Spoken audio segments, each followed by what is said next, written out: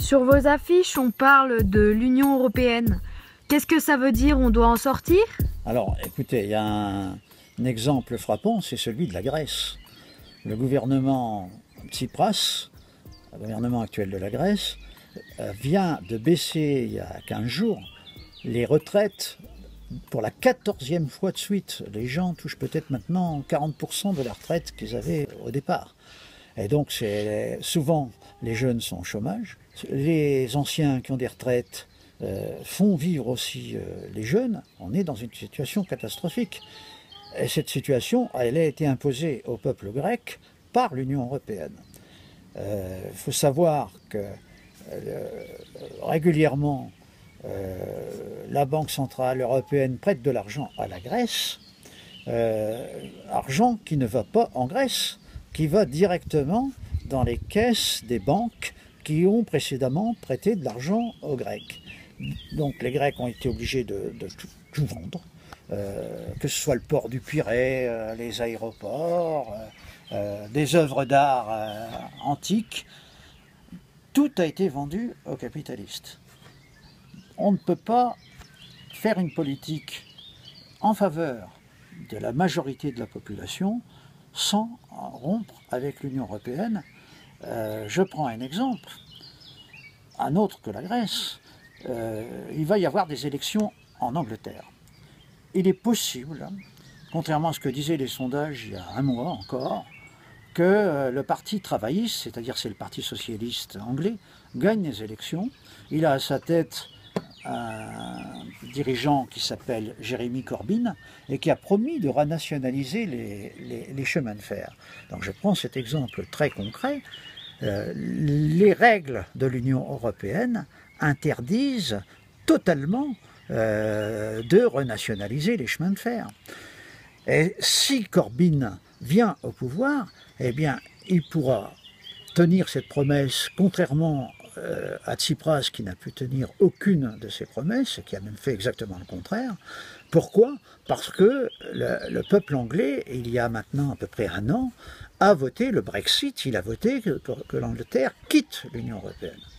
Alors je précise bien qu'il s'agit, euh, l'Union européenne, c'est une institution, c'est une institution supranationale. Il ne s'agit pas de, remettre en cause l'unité nécessaire des peuples.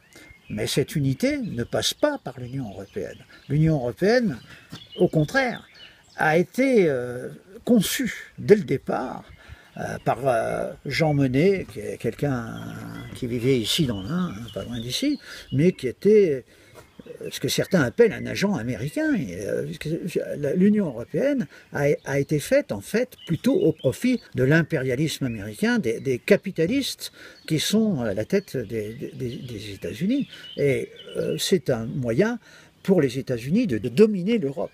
Contrairement à ce qu'on a fait croire aux Européens, on leur a fait croire que euh, l'Union européenne permettrait au peuple d'Europe de, résister à l'impérialisme américain. En fait, c'est exactement le contraire.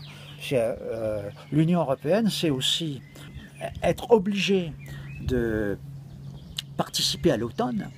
L'OTAN, c'est l'organisation euh, militaire euh, des pays européens autour des, États-Unis.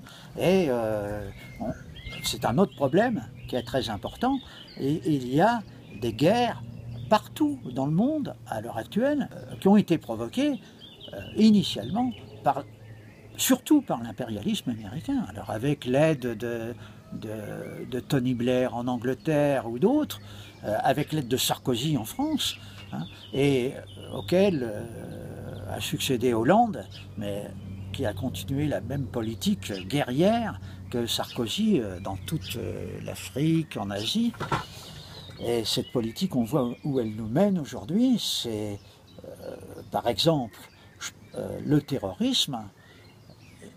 Il faut dire une chose, c'est que quand, sous le gouvernement Chirac, quoi qu'on pense de Chirac par ailleurs, hein, pour des raisons sont, que je ne vais pas discuter, qui ne sont pas les miennes, Chirac a refusé de, faire la guerre en Irak, contrairement à Tony Blair.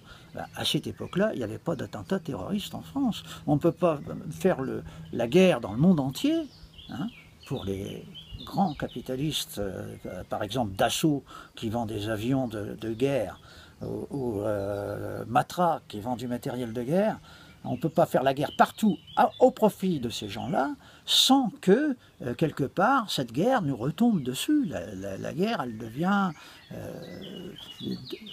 éparse. Elle, est partout, elle frappe aussi bien les populations civiles que, les militaires. Donc il faut sortir de cette situation de guerre aussi.